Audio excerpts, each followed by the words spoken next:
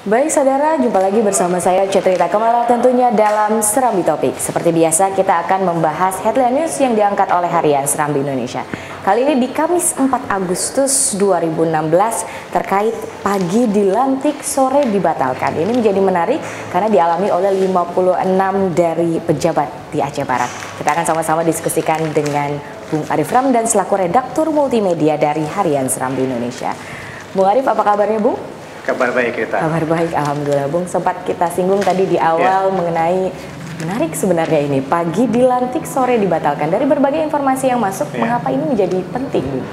Uh, penting karena tadi menarik ya. Hmm. Jadi pagi dilantik, sore dibatalkan dan ini luar biasa sekali. Efeknya tentu dan menjadi sesuatu yang heboh di Aceh Barat. Baik. Karena kan memang beberapa sekolah, beberapa kepala sekolah juga beberapa pejabat sudah ada yang langsung melakukan serah terima pada hari itu juga. Baik. Nah, sementara pada sore harinya Bupati hmm. membatalkan uh, eh, SK pelantikan tersebut. Hmm. Nah ini uh, kita angkat menjadi uh, berita yang uh, headline hari ini karena memang ini menyangkut orang juga menyangkut pekerjaan. Hmm. Nah, buktinya pada hari ini juga beberapa kepala sekolah yang diganti juga tidak masuk tadi, hmm, gitu kan. Baik. Jadi artinya uh, ini belum sampai semua ke terhadap uh, berapa puluh orang yang dilantik kemarin nah, seperti itu jadi oh. ini uh, kita naikkan di headline ya tentu juga ini menjadi pelajaran juga bagi bupati atau kepala daerah yang lain bahwa menjelang habis jabatan hmm. juga pilkada yang hmm. akan sebentar lagi juga tidak diperkenankan lakukan pergantian di SKPA atau dinas-dinas tertentu. Ini sesuai dengan undang-undang terbaru di pemerintahan. Baik. Itu kita. Baik, Bung Arifin juga terjadi di uh, tanggal 1 begitu iya, ya. betul. 1 Agustus 2016.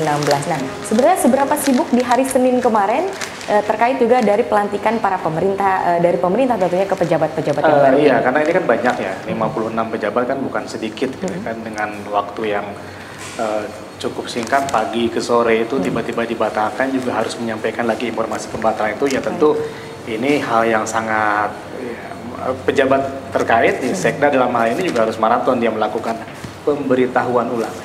Masalahnya ini kan soal apa nanti eh, saya jadi ada istilah menjabat kepala hanya beberapa jam. Gitu. ada salah kepala sekolah hanya sudah dilantik eh, menjabat sorenya sudah dibatalkan SK-nya. Dia belum bekerja, pejabat bersangkutan belum bekerja, hanya hanya mencicipi jabatan aja beberapa beberapa, beberapa jam, jam iya, tidak sampai sehari. Ya baik. Ya. Jadi ini menarik juga beberapa jam saja. Beberapa jam saja. Begitu, Bung, ya? Nah ini juga hmm. persoalan bagi uh, kabupaten kota yang lain. Ya. Ini kan sudah tahu artinya kan bahwa undang-undangnya sudah ada, hmm. tidak diperkenankan kembali hmm. uh, melantik uh, menjelang enam bulan menjelang masa berakhir jabatan. Nah ini kan sudah bukan enam bulan lagi malah ini beberapa bulan ke depan sudah berakhir jabatannya seperti itu. Ini menjadi penting karena juga menjadi peristiwa yang unik dan menggelikan hmm, sebenarnya iya, iya. begitu Bung Arif.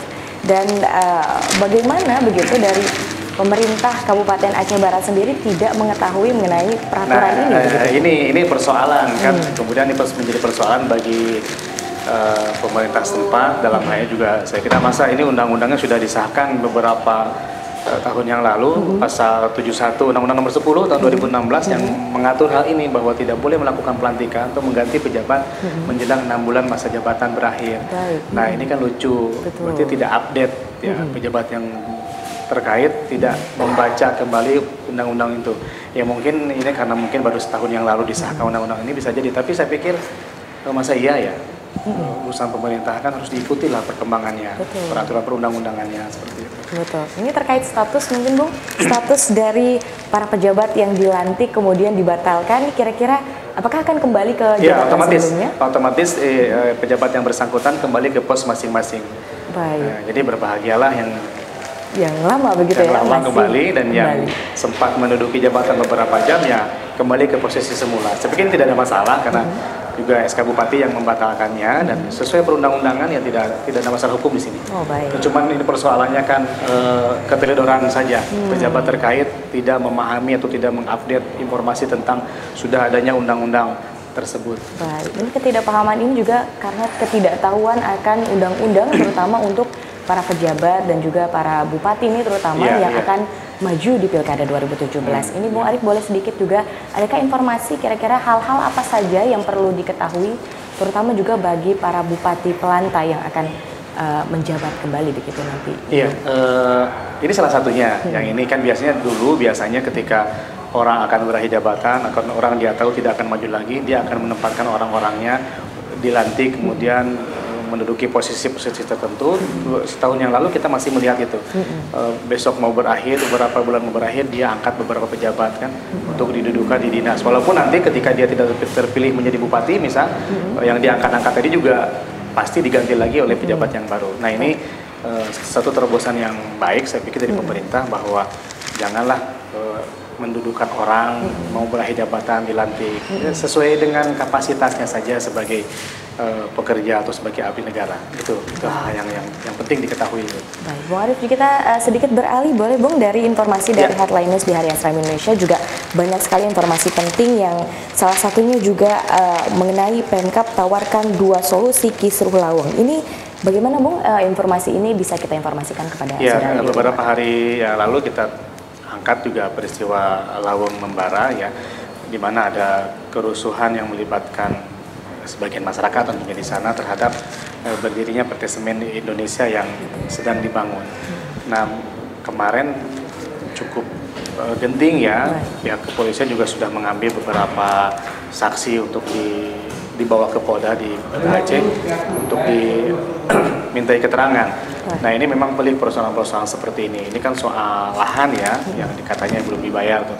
Tetapi eh, pihak terkait sudah menyampaikan klarifikasi itu dan ya, sudah adalah solusinya. Mudah-mudahan ini juga eh, investasi di Aceh terus berlanjut, tidak mengganggu keamanan dan yang penting sebenarnya kehadiran investor di daerah-daerah terdalam di Aceh ini juga ikut mengangkat kesejahteraan warga sekitar. Baik. Itu saja kan persoalannya. Mudah-mudahan juga terakomodirlah uh, keinginan warga-warga di sekitar lokasi proyek tersebut. Hmm. Tapi kalau kita lihat sebenarnya sudah mulai bergeliat hmm. kehidupan ekonomi di kawasan seperti itu. Hmm. Kemarin di Lawang sudah terlihat adanya pedagang-pedagang warga sekitar yang hmm. melayani para pekerja. Ini kan sudah mulai tumbuh. Nah, tiba-tiba ada kerusuhan kemarin. Hmm. Nah, mudah-mudahan nanti uh, besok situasinya kondusif, hmm. uh, pemerintah juga menjamin keamanan bagi para investor yang masuk Aceh. Karena karena hanya dengan jaminan inilah Aceh akan maju.